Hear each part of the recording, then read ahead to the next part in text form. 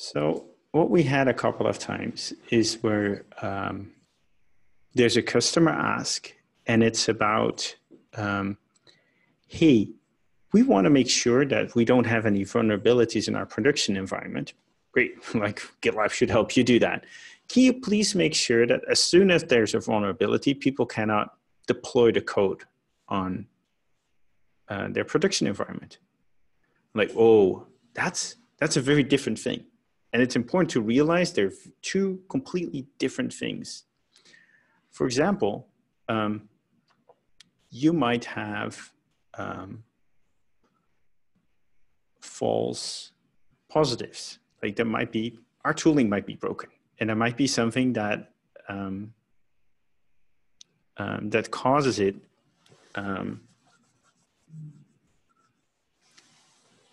to detect a vulnerability when there's really not, no vulnerability. It might also be that you're not making the situation worse. Suppose you have a library now that has a hundred or two known vulnerabilities and you're, you're changing something else not related to that and now it will block you from doing that. So there's a difference between kind of the vulnerabilities and increasing vulnerabilities. Might also be a case we use a library, let's say for regular expressions, and there's like an attack in the wild that you've heard about, like all the mailing lists are red hot because hackers are exploiting this, and you're replacing it for another library. And this is fresh, fresh news. Um, like the vulnerability is not even assigned a CVE number yet. Or maybe it is, and there was a known vulnerability. And the new library you want to use has even more known vulnerabilities. There's five of them, but the risk is way lower to the organization. So it's still the right action to kind of do that. I've um, I've seen occasions where a website was down, and then uh, the was taken down because of a vulnerability in the software, and after updating the vulnerability, the QA test had to run. But at that point, the the website was down, like nobody could use it. The, the, the usage of the site was zero. Like, like, they, like it was unusable because it was down. And still they were testing for like, does it work well with color blindness, even though the front end didn't change. Um, you, we got to make sure that that stuff that, that we empower organizations um, for example, you could say, hey, every time I deploy, I want to make sure that, I don't know, I update my asset library because I, I want to do that. We take the power away from developers to to make to make a choice there. You get into really start tricky stuff. Like, what if you need to update your website, but also your asset management repository is down or that service is down? The, the more dependencies you introduce, the, the worse things get. And what you quickly get is that people start working around it. And that's what we've seen with security software. Before GitLab introduced security software, there's many, many, many companies that introduce security software and they integrate it with your DevOps pipeline. And they did what customers asked. If it makes things worse, don't deploy it. And what you saw is that everyone started working around it and there was just a low compliance. And that's what I really want to prevent us from doing. So every time we get a request like, hey, make sure that XYZ always happens, we should understand what's behind that request. And we should make sure that we're uh, that we do the best thing. We don't necessarily do what the customer asks for, but we do what the customer what, what most what's the best solution for most of our customers. Because some some things are easy to configure in a way that uh, will require people to work around the tool. And that's, that's when we've lost. Like as soon as people start working around GitLab, we have a problem.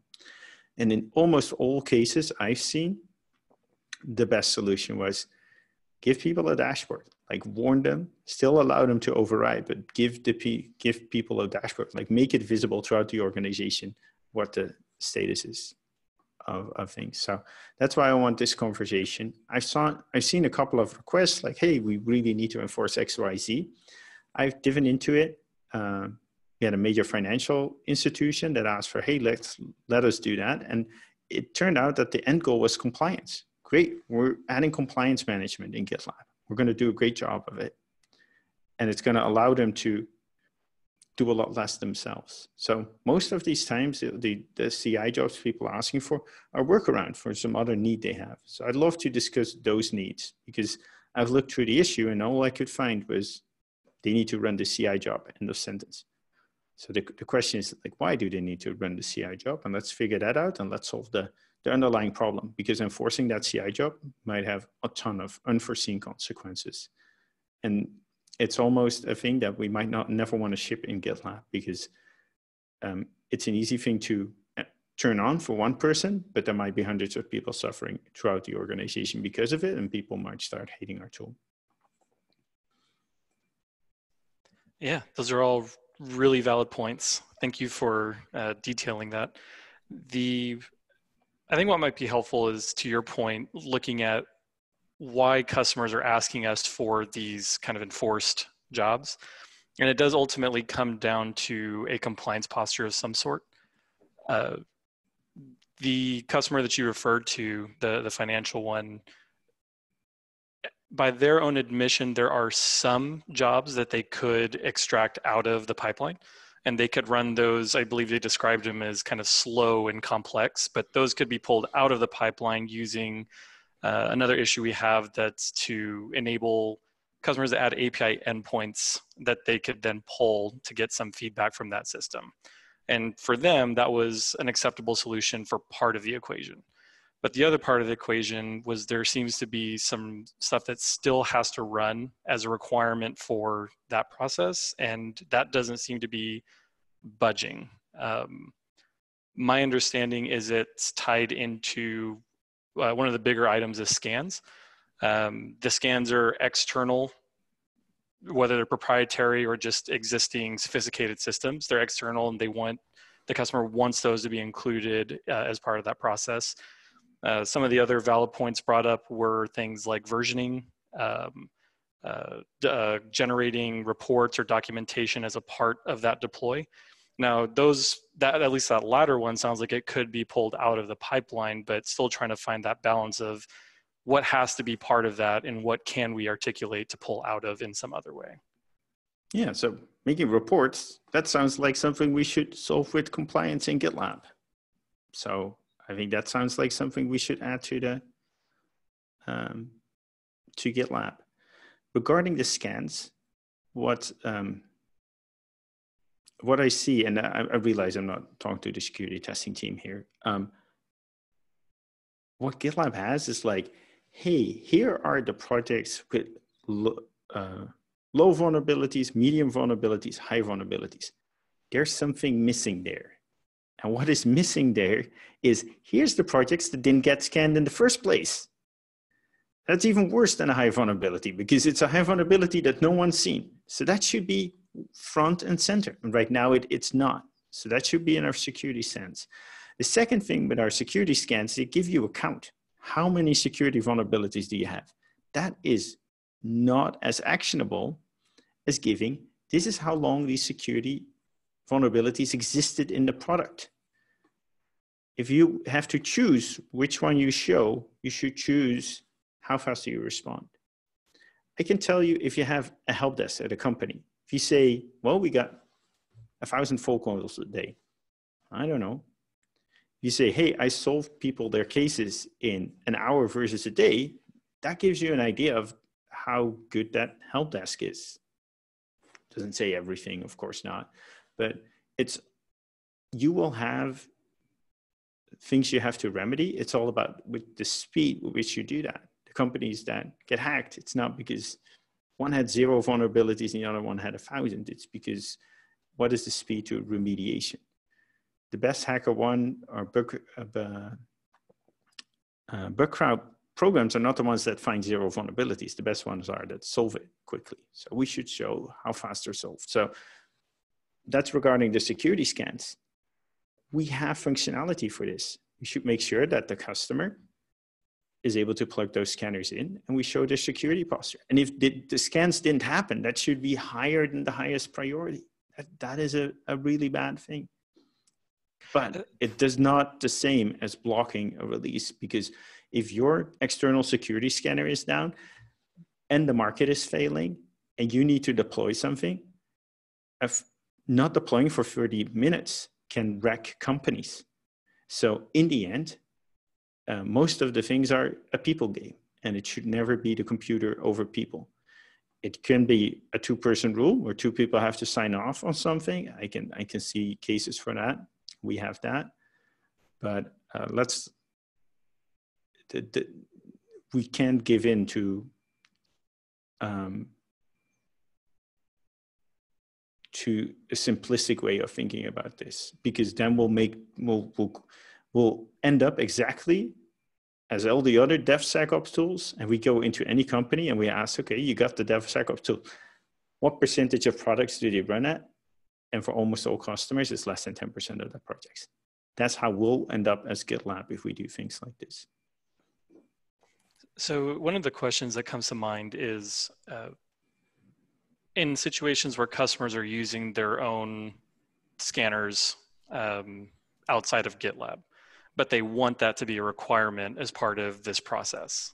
Um, how do you view that particular challenge? Yeah, that makes total sense. Like we already have GitLab scans and we should add functionality. Like if the scan didn't run, that's the worst thing. It's worse than high priority items.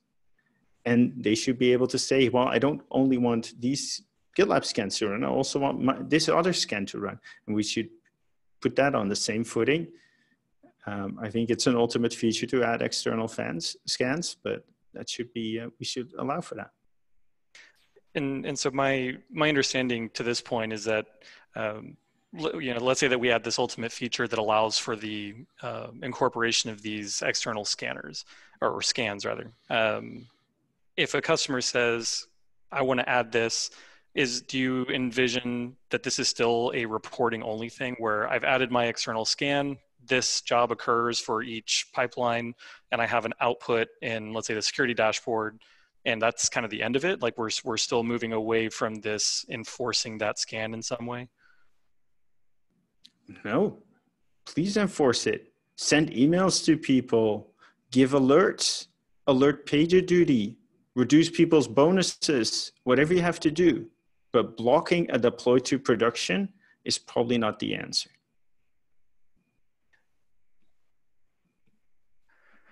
What? What? I'm sorry. Did I hear someone else? No, sorry, I was going to jump in there real quick. Just um, and, and, and, thanks so much.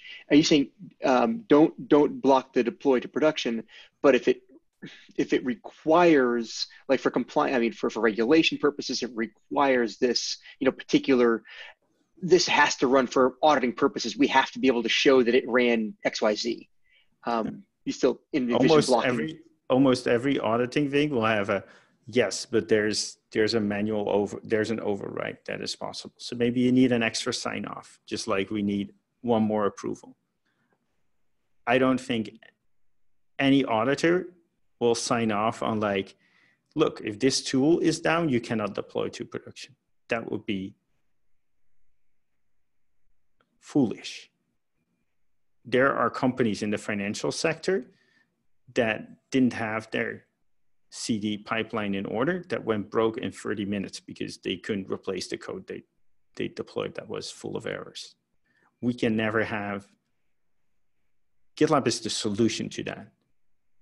And I refuse to enter into a possibility that GitLab would be the cause of that.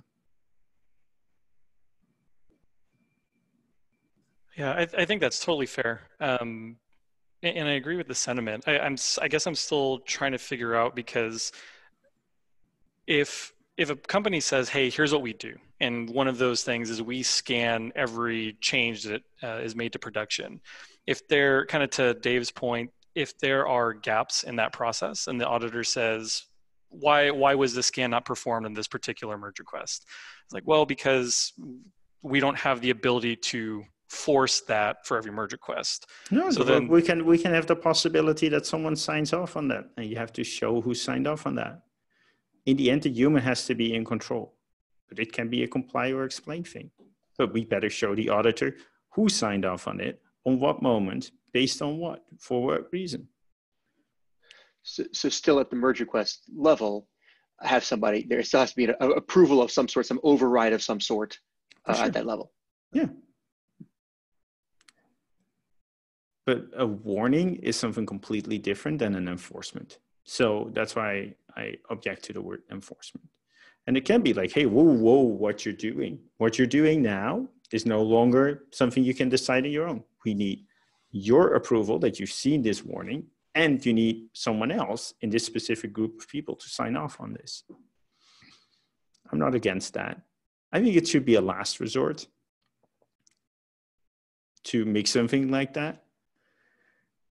And, and the bigger thing I'm saying is, look, these, these people are, they made their own solution to this problem because it wasn't in GitLab. So understand their need and address that with GitLab. They need to run a CI job to make a report, figure out what's in that report and why it's not in GitLab already. They're paying us to solve their compliance problems. We should solve it for them. Yeah, I think that some of the requirements, we've done exactly that. Things like the reporting, um, things like uh, sending some data payload to them to be able to automate change management processes. Like those are things that we can't address outside of this kind of required pipeline concept. Um, there, I, I still have some reservations, but so, so I don't I don't like the wording. Like it's required pipeline. It's not a required pipeline. It's a re- required reporting, or it's a required scan that needs to happen. So that's fair. So the the the reason they're asking for pipelines is because that's how they do it now. So we need to change how we talk about these things, and we cannot it cannot be like, oh, I asked the customer, asked them whether they really needed this, and they said, yeah, they really need this. That's not a fruitful conversation. You really have to dive in and think, why do you need this? How are you solving today? What are the audit requirements? If we don't end up talking to their auditors at some point, we're doing it wrong.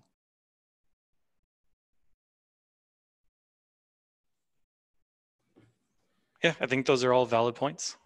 Um, I, I, think it's definitely worth, uh, and there's still some work to be done digging into the parts of the requirements that they have as far as those specific scans or reports and in those types of functions.